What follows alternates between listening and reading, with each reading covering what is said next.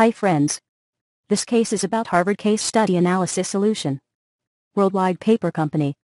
The case provides deep understanding and insight of capital budgeting process. This understanding is also very important in terms of resource allocation, and when companies have limited investment funds, but number of profitable projects.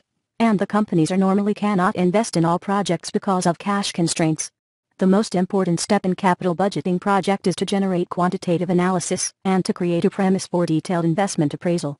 Thanks for watching this video.